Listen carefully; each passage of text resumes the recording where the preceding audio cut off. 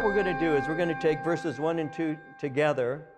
Then we're going to move into verses 3 through 10 and look at them basically, though they are composites, they work together. Um, we'll look at them individually. And so, verses 1 and 2, I'll be honest with you, even before we begin our study here, it's difficult. This is one of those subjects that is a difficult subject to give honor to to actually give a, a, a, good amount of information for us to understand. So I'll do my best to, to clarify some of the aspects of this as we look at it. So beginning at verse 1, reading to verse 2, 1 Timothy chapter 6, the Apostle Paul writes, Let as many bondservants as are under the yoke count their own masters worthy of all honor, so that the name of God and his doctrine may not be blasphemed and those who have believing masters. Let them not despise them because they are brethren, but rather serve them, because those who are benefited are believers and beloved. Teach and exhort these things. We'll be looking at that in not deep and particular detail, but we'll, we'll look at that in a way that I think can help us to see some practical aspects of the teaching that Paul is bringing related to uh, slavery. Now, as we open up chapter 6, Paul is continuing a series of admonitions that he'd already begun in chapter 5. In chapter 5, he'd given instructions concerning how to treat people in church. When we get to chapter 6, he opens with instructions about relationships. But the relationships he's speaking about uh, are between slaves and their owners. That's what he means when he writes, Let as many servants as are under the yoke. That's another way of speaking of slavery. So, this is teaching related to how Christian slaves are to behave. In order to understand its context, we need to know something about the Roman Empire. We need to remember that the Roman Empire was built on the back of its slaves. It's been estimated that around one third of the inhabitants of the Roman Empire were slaves. That would mean that there were in Rome, under the empire's rule, something like 60 million slaves. The question has to be asked how did so many people become slaves during that day? Well, some had become slaves because they were prisoners of war. Some were criminals who had been sentenced to slavery. Some became slaves through being sold into slavery because of debt. Some became slaves when they were kidnapped and sold into slavery. Some were sold into slavery by their own parents to provide income for themselves. And finally, some were born slaves by parents who themselves were slaves. When you look at the culture of slaves during the time of the Roman Empire, some of the slaves could attain a degree of status, and many of them were treated very kindly by their masters. Some were barbers and cooks, others were butlers or teachers. Even the family doctor might be a slave, as well as a friend. There were those who eventually could buy their freedom from their owner, and others were set free. But in many cases, the life of a slave was one of extreme cruelty. A slave could be condemned to hard labor, beaten, chained. They'd be branded on the forehead if they ran away even crucified. A slave could be killed for any reason whatsoever without any punishment to the owner because the slave was owned by that person. One Roman writer said old slaves should be thrown into a dump. And when a slave is ill, do not feed him anything. It's not worth your money. Take sick slaves and throw them away because they are nothing but inefficient tools. So, in spite of all of this, Christianity actually altered slavery in the Roman Empire. And Christianity brought three basic changes that did so. One, Christianity affected the slave owner. You see, up until that time, slave owners could do anything they wanted. But under Christ, they were commanded to treat the slave fairly and even compensate them. To pay a slave was unheard of. And yet in Colossians chapter 4 verse 1, Paul said, "Masters, give to your servants that which is just and equal knowing that you also have a master in heaven. That was revolutionary to command a slave owner to treat the slave fairly and to compensate them was unheard of. That's one of the things that happened. The second thing is it, it, it affected the slaves because when a slave came to faith in Christ, and this is so important for us to understand in a practical way by way of application to all of us, when a slave came to faith in Christ, had a relationship with God, it gave that slave dignity, something that the world didn't give to them, but they received it because they were a child of God. And because they were God's children, they had equal value to other people. In Galatians 3:28, Paul speaks of it this way. He says, "There's neither Jew nor Greek. There is neither slave nor free. There is neither male nor female, for you are all one in Christ Jesus." So one, the slave owner was taught treat them with compensation, treat them fairly. Two, the slave himself or herself would have a sense of personal dignity because they were equal in the sight of God. But three, Christianity destroyed slavery because servants and owners became brothers in Jesus Christ. You actually see this in the book of Philemon, a book that is dealing with a runaway slave. How are you to treat a slave that has run away but is about to return? Is the question. And in the book of Philemon, in verses 15 and 16, Paul writes, Perhaps Onesimus, who was the runaway slave, perhaps Onesimus departed for a while for this purpose, that you might receive him forever, no longer as a slave, but more than a slave, a beloved brother, especially to me, but how much more to you, both in the flesh and in the Lord. The runaway slave is the brother of the owner. And Paul says, treat him with dignity because he's not simply a slave, he's your brother. And so, Christianity destroyed slavery from the inside. When Paul is speaking concerning Christian slaves, he's saying you need to live out your faith in two basic ways. One, in an external way. You're to treat your master with respect. As a matter of fact, you should be the best worker. In Ephesians, he speaks like that in chapter 6, verses 5 through 8 where he said, Slaves, obey your earthly masters with respect and fear and with sincerity of heart, just as you would obey Christ. Obey them not only to win their favor when their eye is on you, but like slaves of Christ, doing the will of God from your heart, serve wholeheartedly, as if you were serving the Lord, not men, because you know that the Lord will reward everyone for whatever good he does, whether he is slave or free. So he says, serve with a wholeheartedness by way of application, obviously, when we're doing whatever it is that we do for our occupation, when we work our job, we ought to be doing things honorably and right because working on that job and people knowing that we're Christians can either give honor to the Lord or it can make his, his doctrine, even as he says in verse 1 here, uh, it can blaspheme God and his doctrine. It could make them look ineffective because Christians acting badly bring the name of Jesus into disrepute. That's why in the book of Titus, chapter 2, verse 7, Paul would say, In all things, show yourself to be a pattern of good works. But notice again in verse 2 how he says, uh, Those who have believing masters, let them not despise them. Let them not despise them because they're brethren. Don't hate your master. That's another interesting thing. So he speaks of not only the external in the way that they're acting, but the internal in the way that they're feeling. He says, You are brothers, serve him all the more diligently and do so for his good. Don't take advantage of him because he's a believer. Do faithful service. In Colossians 3 22 through 24, Paul said, Bondservants, obey in all things your masters according to the flesh, not with eye service as men pleasers, but in sincerity of heart, fearing God. Whatever you do, do it heartily as to the Lord, and not to men, knowing that from the Lord you will receive the reward of the inheritance for you serve the Lord Christ.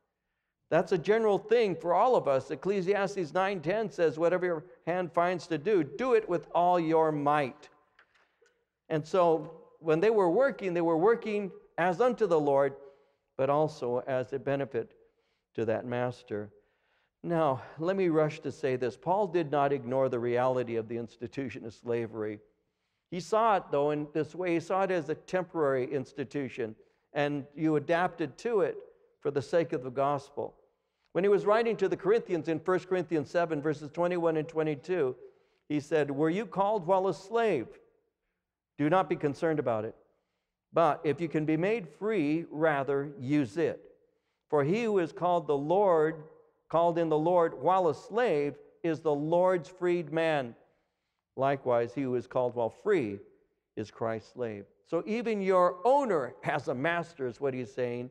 If you can be set free, then use it because you can be useful to the hand of the Lord. But even while you're under the yoke, serve the Lord as you do so.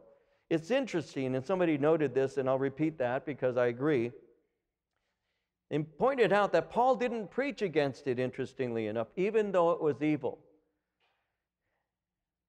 Someone said the evil institution of slavery entered into all grades and ranks. It was common to all peoples and nations. The very fabric of society seemed knit and bound together by this miserable institution. War and commerce were equally responsible for slavery. To attempt to uproot it, to preach against it, to represent it in public teaching as hateful to God and shameful to man would have been to preach and teach rebellion and revolution in its darkest and most violent form. It was indeed the curse of the world. But the master and his chosen servants took their own course and their own time to clear it away. Jesus and his disciples, such as Paul and John, left society as they found it, uprooting no ancient landmarks, alarming no ancient prejudices, content to live in the world as it was and to do its work as they found it, trusting by a new and beautiful example, slowly and surely to raise men to a higher level knowing well that at last, by force of unselfishness, loving self denial, and brave patience, the old curses, such as slavery, would be driven from the world. So they worked within its confines and actually undermined it by reminding the slave owner he had a master, reminding the slave that he's free in Christ, and creating a family, brothers, together who were able together to realize the evil of slavery in Rome that was built on the back of slaves. Well, the slaves and the um, establishment of that kind of experience for people slowly was degraded by the love and the message of the gospel of Jesus Christ.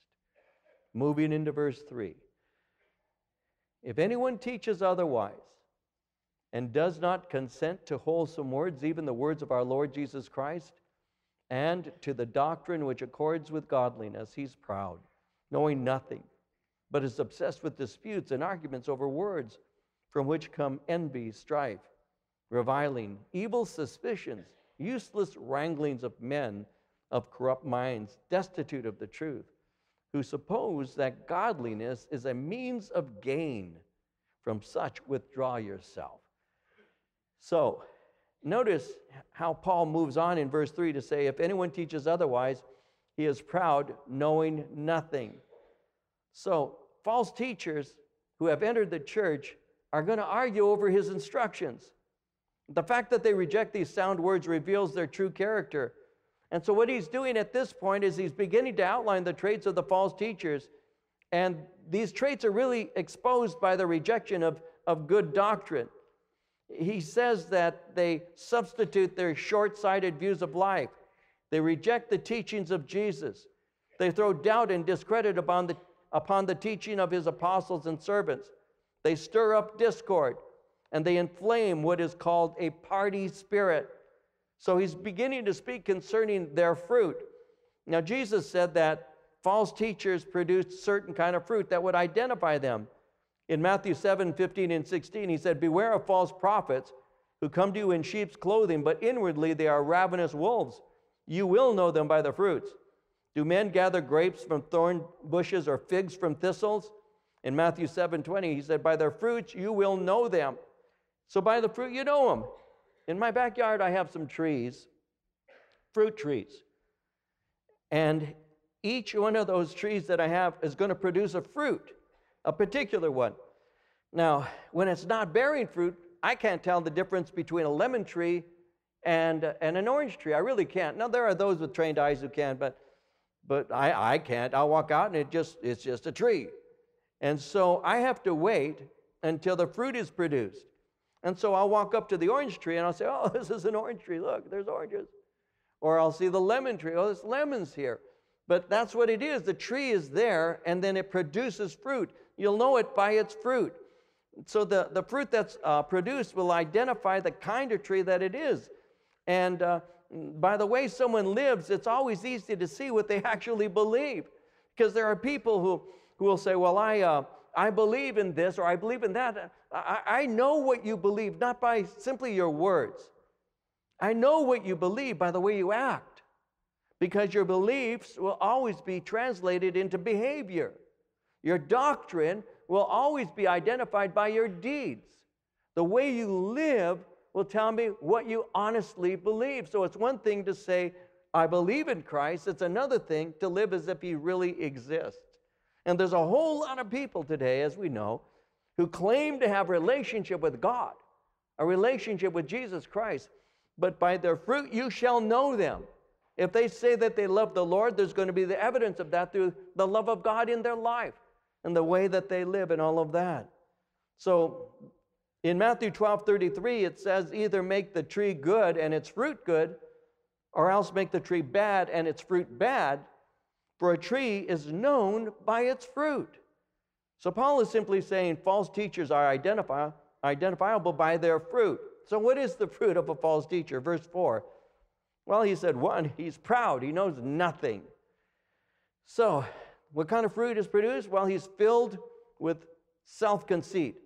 When it says he knows nothing, he is morally and spiritually dense. So, one of the things that's uh, an identifiable trait of a, a, a false teacher is arrogance. It's an arrogant pride. They are unwilling to submit to Christ's gospel, they're unwilling to submit to proper teaching. They are filled with pride. And you can see that. Now, I realize today that it's um, anybody who says, look out for this or look out for that can be branded today by today's standards of everything's okay, can be branded as a hater. I understand that. I realize that. You have to be very careful how you present things so that people will actually understand the point. And, and frankly, and we'll look at this in some detail, as a pastor, you know, I don't want to be one who's always causing problems and arguing with people. So just know that because I'm going to give you an illustration. Several years ago now, somebody approached me after a church service and they asked me a question pertaining to something that was on the news. It was on the news and it was in newspapers about a particular person who was um, doing certain things, and I'm just kind of keeping it vague for a reason, doing certain things that that cause people to say, Is this Christianity? Is this what Christianity is all about? Look how hateful this person is. And they were doing some hateful things. So somebody walks up to me after church service and says, Pastor David, I want to ask you a question. This person's been doing this. Are you aware of that? And I said, Yeah, I, I noticed. I saw in the news and I read in the newspaper. Well, Pastor, is that right? What do you think about that? Now, this is a person after church service speaking to me about whether this person's behavior reflects well on the gospel of Christ. So I said, Well, to be honest with you, what he's doing isn't right because it's giving the world opportunity to, to blaspheme the name of Jesus by his behavior. Because Jesus doesn't teach us to do the things that this person's doing. So, what he's doing, if you ask me, is that right? I'd have to say, according to Scripture as I understand it, it isn't right. Oh, thank you, Pastor. Well, I didn't know it, but he was a friend of the guy that was doing all of this. So I get a letter from this guy who was on in the newspaper and was on the news, and this guy writes me and he tells me off from hello, Pastor David, to goodbye. It's an angry letter through the whole letter, telling me what an idiot I am and this and that. I at first I thought it was from Marie, but it wasn't. It was it was from this pastor. He was mad. How dare you this? How dare you that? And, and then he, he, he closed his letter by giving his name and then the letters behind it Bachelor of Arts, Master of Arts, Doctor of Theology, Doctor of Philosophy, you know, BA, MA, THD, PhD. That's how he signs it.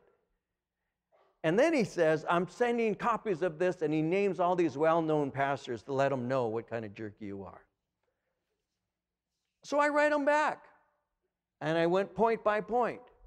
I said, Well, seeing that you're willing to embrace what somebody else is saying, I said, let's approach what you're saying to me. And point by point, I responded and I concluded by saying, and this is evidence that you're wrong. And what you did was wrong, because this is what Jesus said is right. And I closed it by saying, David Rosales, HSG, high school graduate. I mean, come on.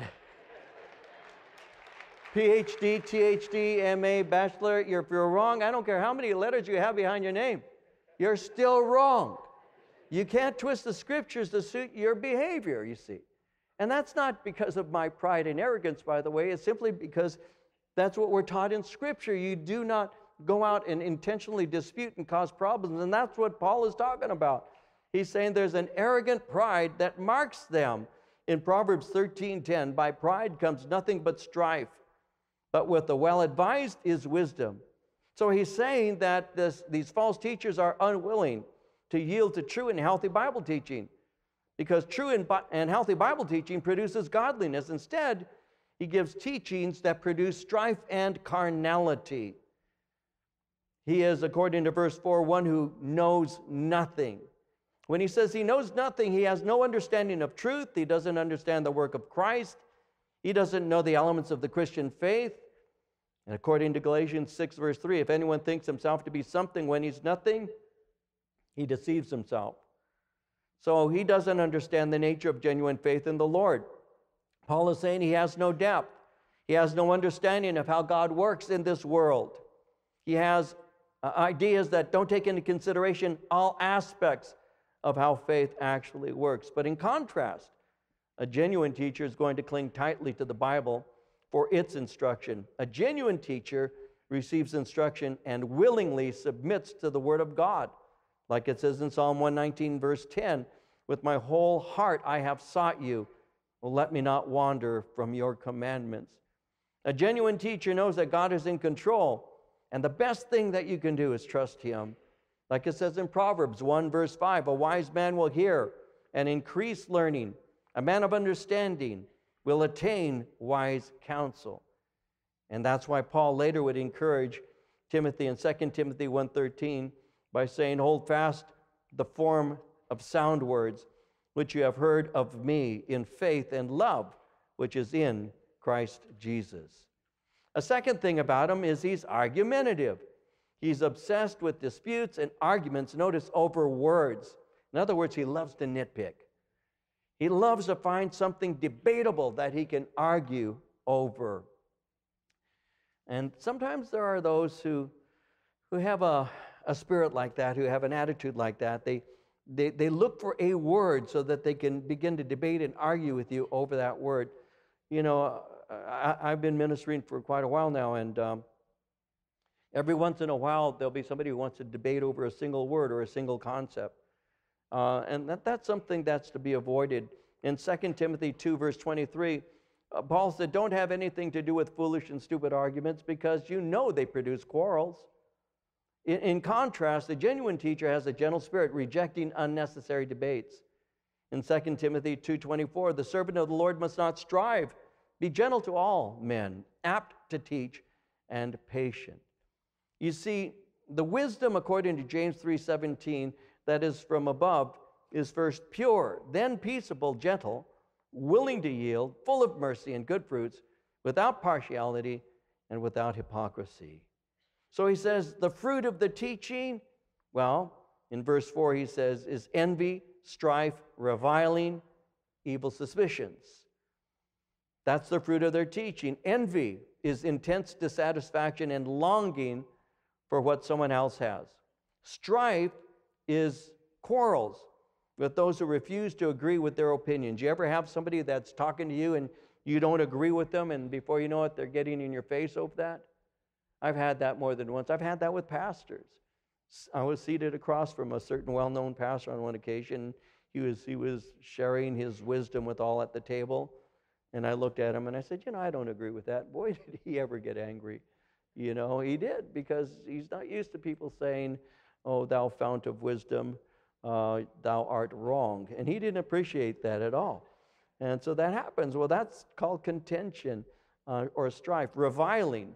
The word reviling speaks of injurious speech towards those who oppose them or debate their position. They call you names, in other words.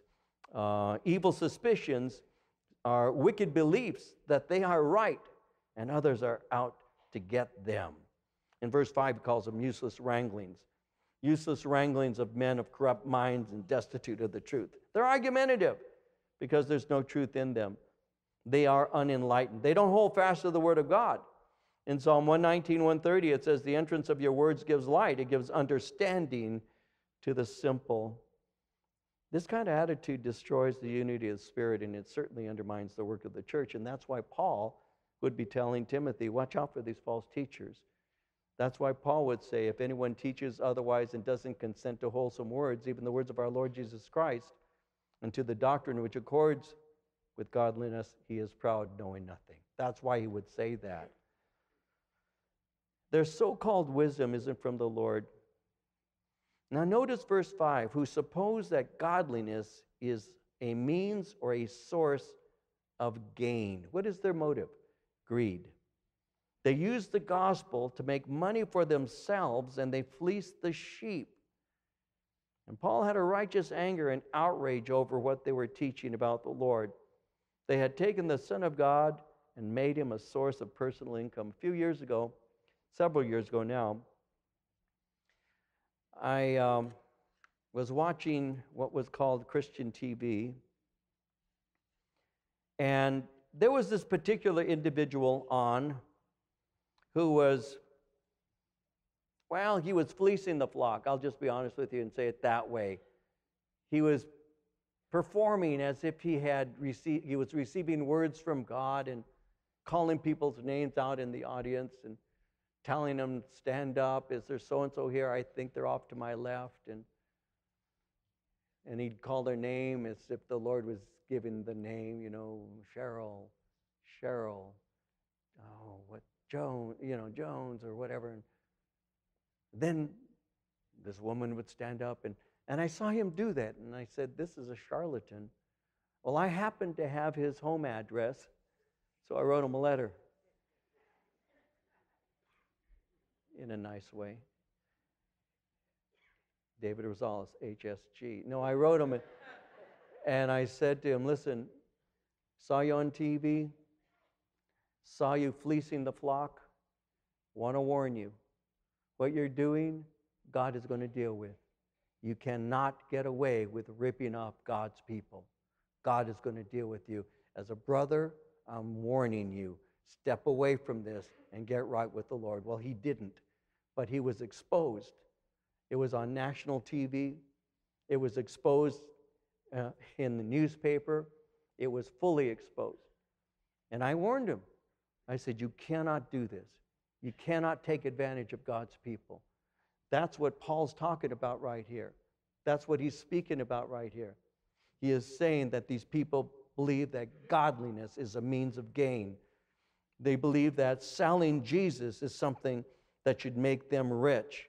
He's already stated that, that teachers who ruled well were to be compensated, but these were the ones, these were the ones he spoke of who labored in the word and in doctrine.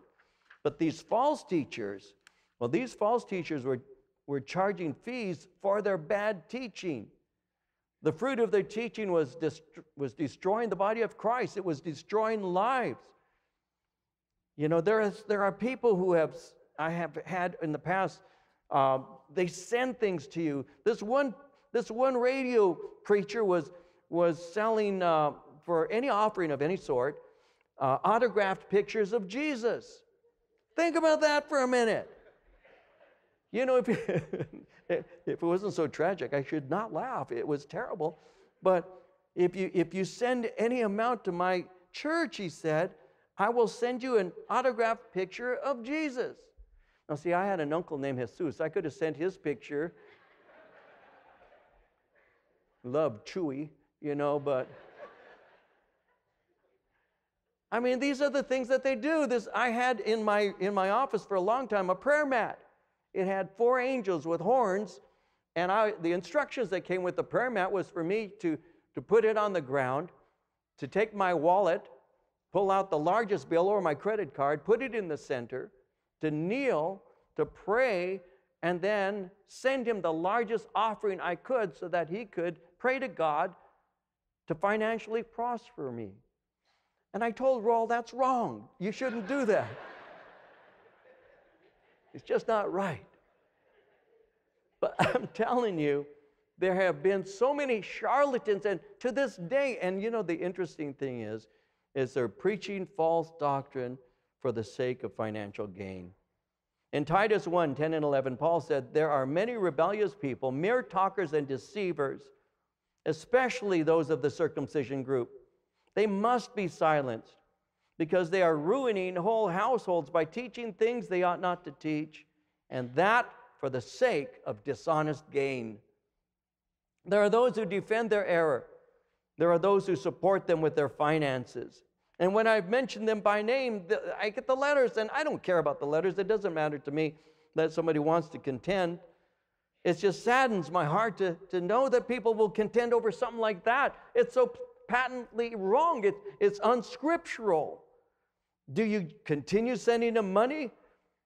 No, you withdraw from them, you avoid them. You realize that they are spiritual arsenic.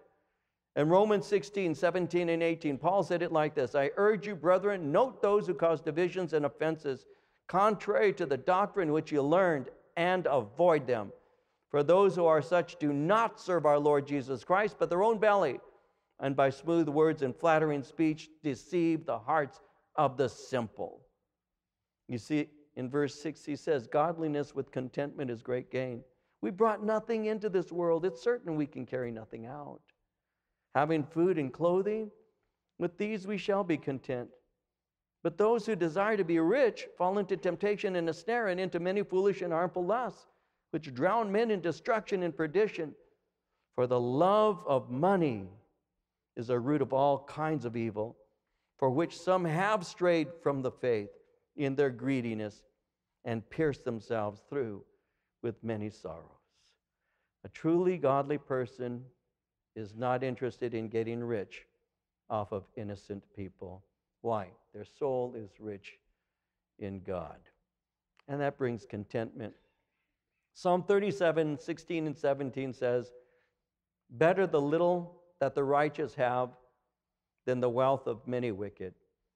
For the power of the wicked will be broken, but the Lord upholds the righteous.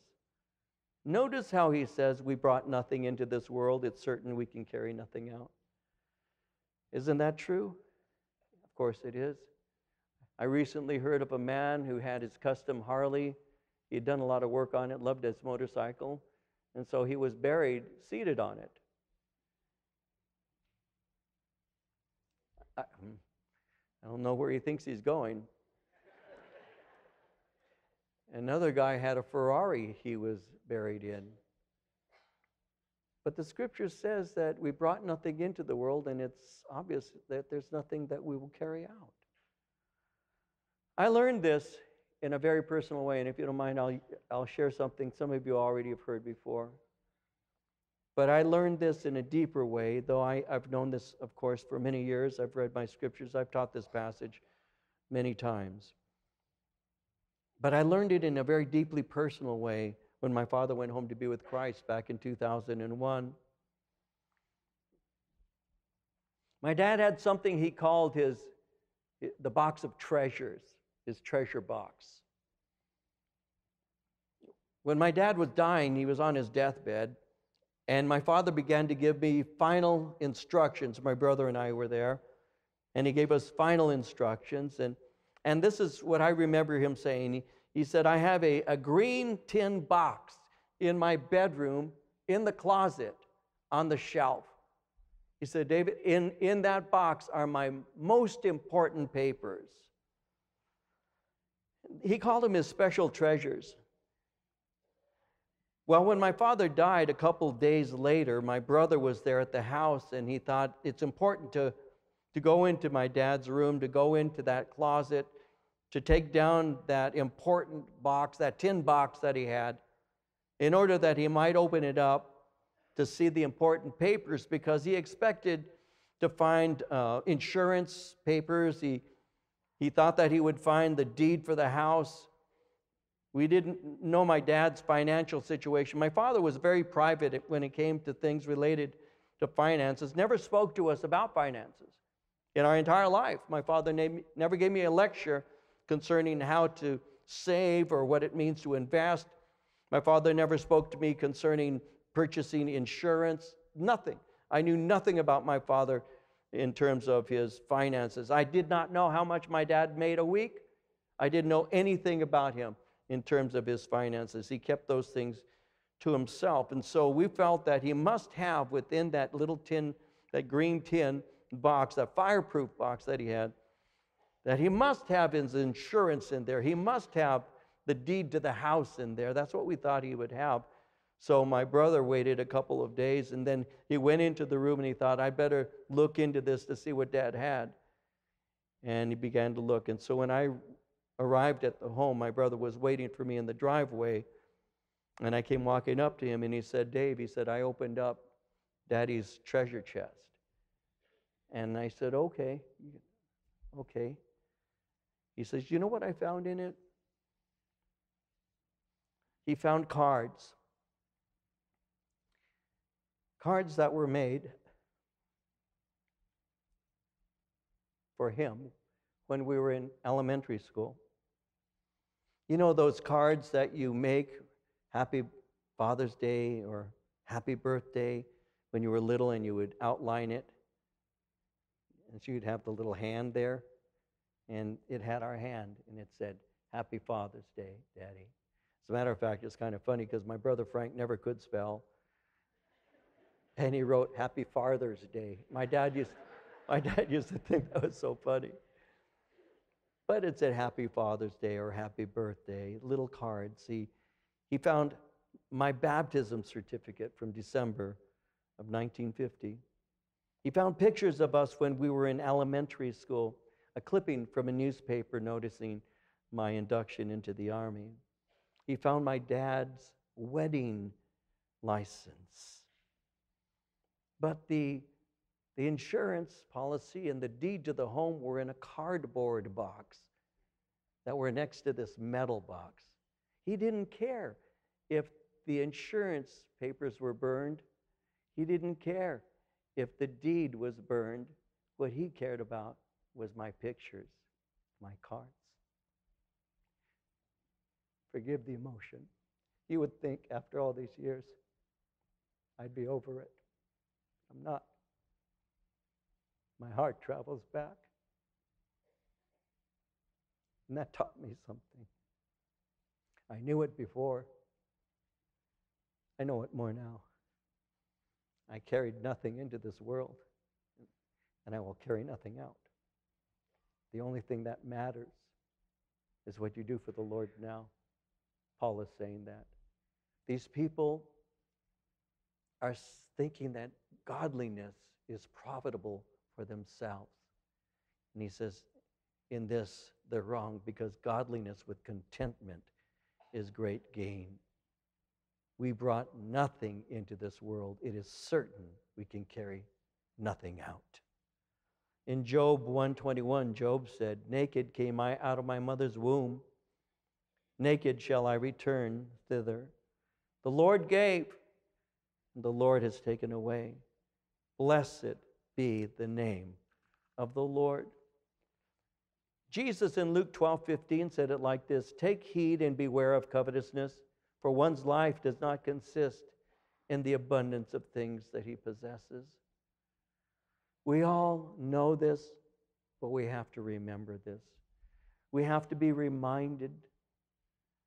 When you're young, you pursue things because things, you, you think that things will satisfy. And, and to a degree, there will always be a sense of, of, of accomplishment.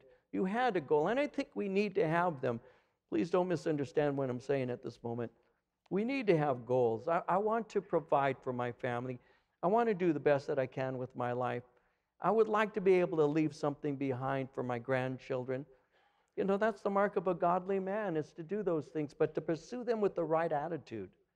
It's the love of money that is the root of all kinds of evil. Not love, not money in and of itself. It's that love. It's that, that greedy desire to obtain, thinking that you're going to receive some satisfaction by, by having that material item. And all of us know, all of us know, once you live for a little while, that you'll get a certain phone and you get this certain system and you think this is the best, and then the next year they bring the new one out.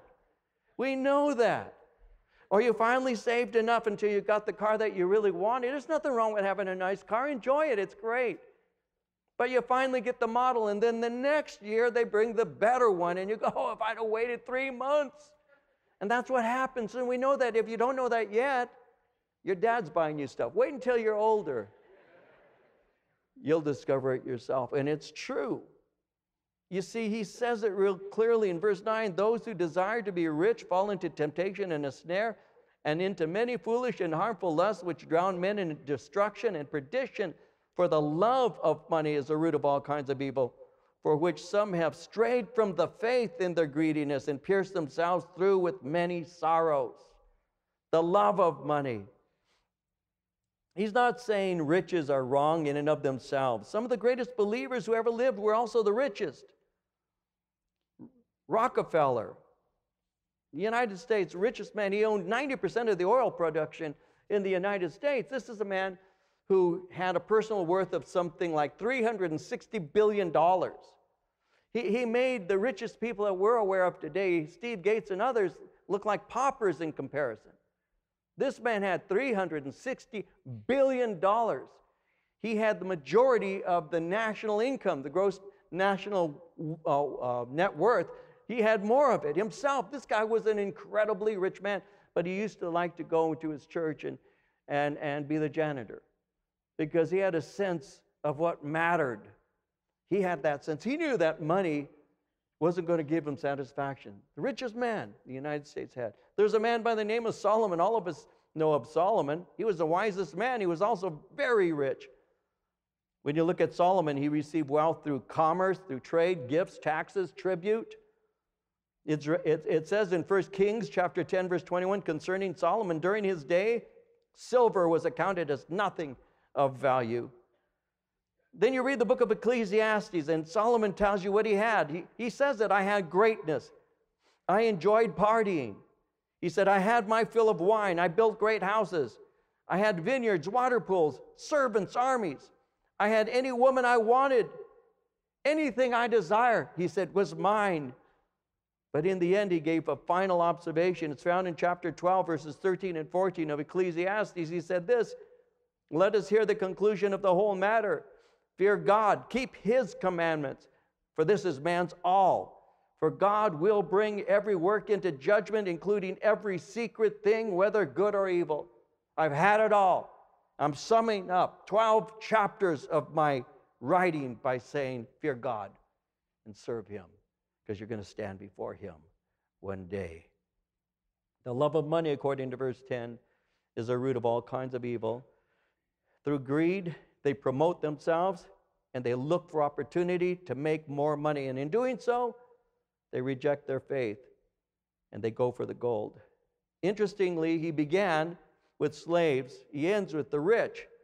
Slaves are free in Christ, but the rich can be slaves to greed. The result, they pierce themselves through with many sorrows. They got what they wanted, but they have a burdened conscience that weighs on them. And our prayer ought to be Proverbs 30, verses 8 and 9. Keep falsehood and lies far from me. Give me neither poverty nor riches. Give me my daily bread. Otherwise, I may have too much and disown you and say, Who is the Lord? or I may become poor and steal and so dishonor the name of my God. Give me moderation, Lord, and anything you can trust me with, give me that. Godliness with contentment is great gain for both slave and the rich man.